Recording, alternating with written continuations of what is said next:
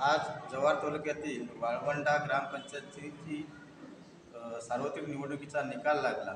या नि- याच्यामध्ये भारतीय जनता पार्टीचे सरपंच पदाचे उमेदवार वैजल ॲडव्होकेट रवींद्र वैजल हे प्रचंड मताने विजयी झालेले आहेत. त्याचबरोबर संपूर्ण पॅनल हे या ठिकाणी विजयी झालेलं आहे. गेली वीस वर्ष ही ग्रामपंचायत भारतीय जनता पार्टीच्या ताब्यात आहे.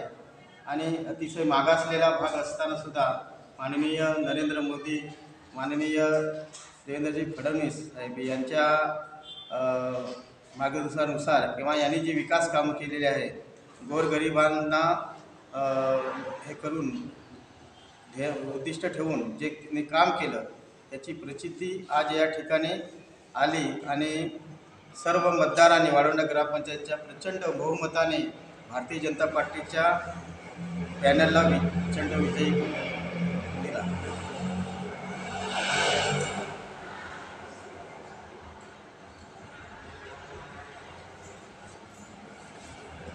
काय सांगाल काल ग्रामपंचायतच्या निवडणुकीमध्ये भाजप वर्सेस राष्ट्रवादीचा थोडासा वाद झाला होता. त्या त्याबद्दल आपलं काय मत आहे?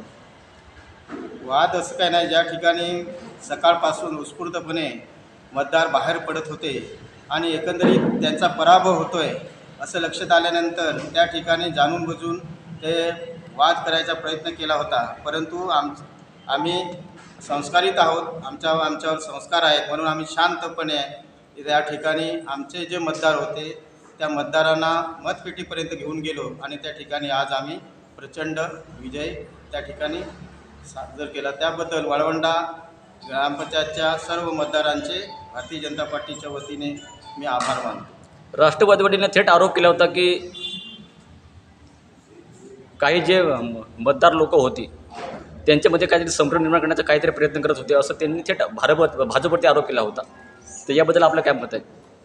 आरोप काय आरोप करणार काय? कारण वीस वर्ष आम्ही त्या ठिकाणी आमचा सरपंच आहे त्या ठिकाणी सर्व म्हणजे घरकुल असेल टॉयलेट असतील किंवा प्रचंड ज्या योजना आहेत त्या शेतकऱ्यांना प्र हे असतील फुकट रेशन असेल हे सगळं त्या ठिकाणी आमच्या ग्रामपंचायतच्या माध्यमातून आमचे सरपंच उपसरपंच आणि स सदस्यांच्या आणि प्रमुख कार्यकर्त्यांच्या याच्याने आमची पक्षाची त्या ठिकाणी बांधणी होती.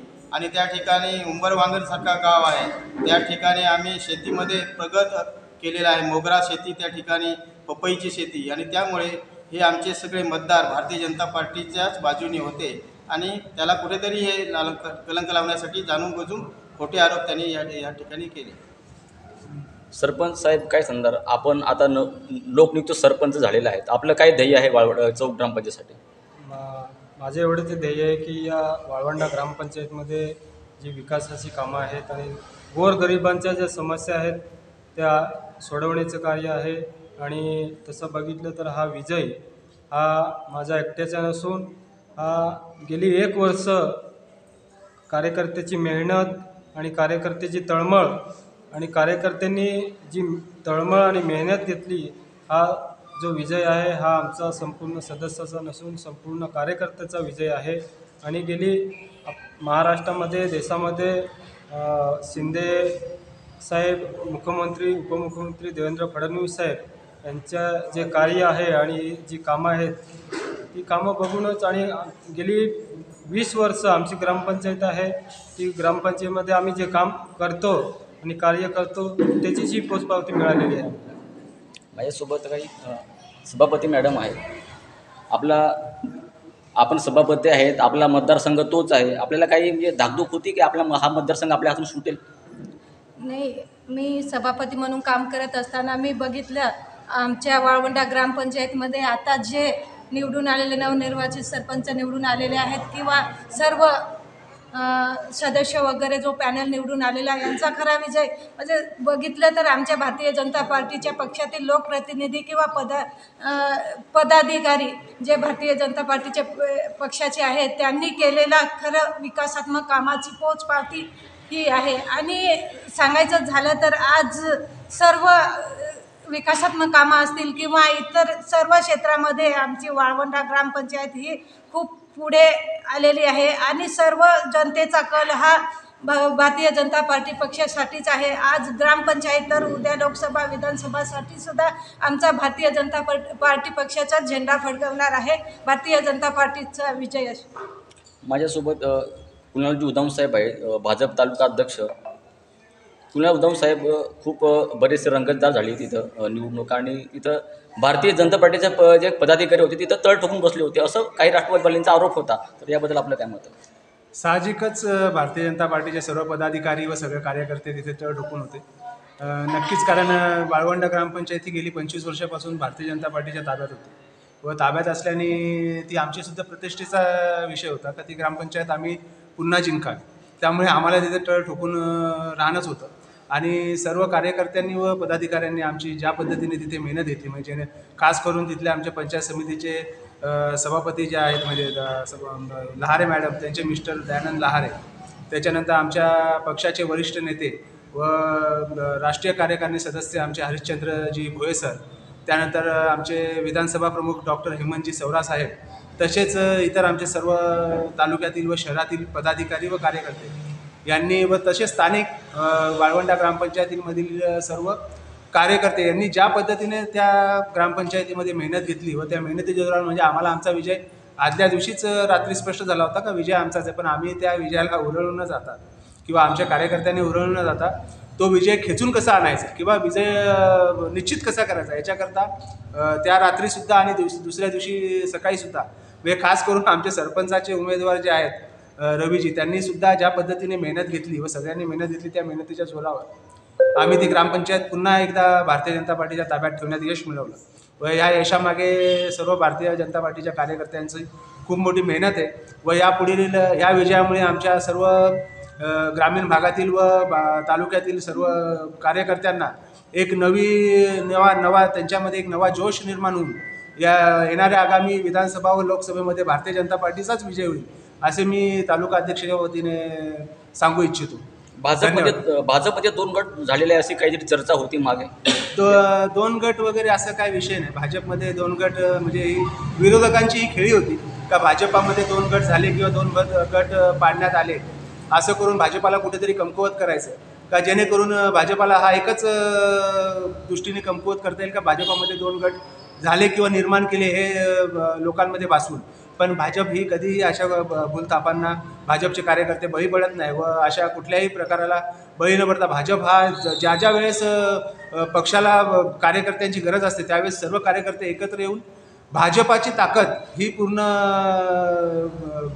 जनतेला किंवा पूर्ण तालुक्याला नेहमी दाखवून देतात व कार्यकर्ते हा आपला भारतीय जनता पार्टीचा प्रामाणिक कार्यकर्ता असतो. त्यामुळे तो मेहनत घेऊन भारतीय जनता पार्टीचाच विजय कसा होईल याच्याकडेच नेहमी बनत असतो त्या ब- बघत असतो. त्यामुळे भारतीय जनता पार्टीमध्ये किती लोकांनी दुफळी माजवण्याचा प्रयत्न केला विरोधकांनी तरी ती दुफळी कधी ते माजू शकत नाही व त्यांचा प्रयत्न कधीही सफल होऊ शकत नाही.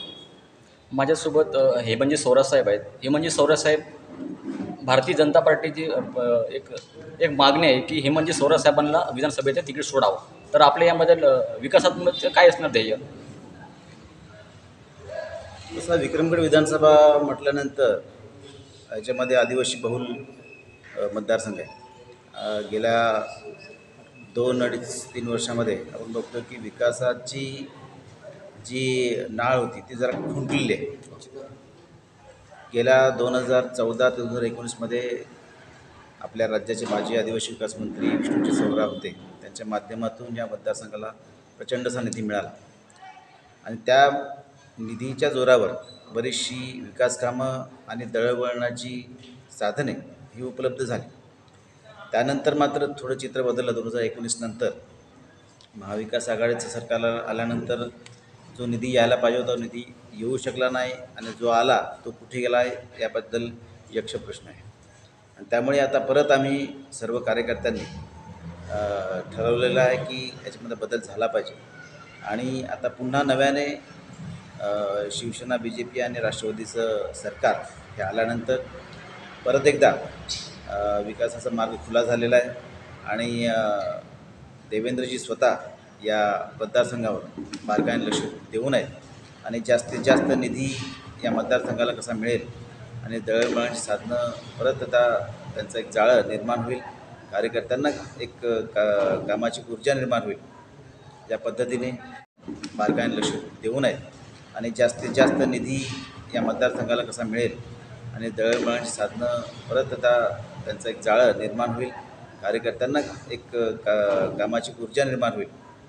त्या पद्धतीने आणि या मतदारसंघाचे जे प्रलंबित प्रश्न आहेत त्या प्रलंबित प्रश्नांच्या सोडवण्याच्या जोरावर निश्चितच पुन्हा एक एकदा ही विधा विक्रमगड विधानसभेची जनता बी जे पी आणि महायुतीला अ, कौल देईल असं निश्चित मला आशा वाटते. हरिचंद्रजी चव बोरी साहेब जवारवासींचं एवढं स्वप्न आहे की जवारचा आमदार का होत नाही? तर याच्यासाठी जे जे काही मंडळी होती जवारची स्थानिक तर त्यांचं असं मत होते की जवारच्या एखादा उमेदवार आमदार झाला पाहिजे. जव्हारचा आमदार होत नाही असं नाही. रामचंद्र भोये आमदार होते कलावती करवंदे होते. आणि जव्हारचा सुद्धा आमदार होईलच. परंतु या ठिकाणी जो विक्रमगड विधानसभा आहे तो विक्रमगड विधानसभेमध्ये या ठिकाणी बरेच इच्छुक उमेदवार आहेत. ते आमची पक्षाची शिस्त अशी आहे की सगळे व्य हे बघून एकदा सगळे सर्वे करून कार्यकर्त्यांना विचारून आणि जो निवडून येईल त्या उमेदवाराला ती संधी दिली जाते.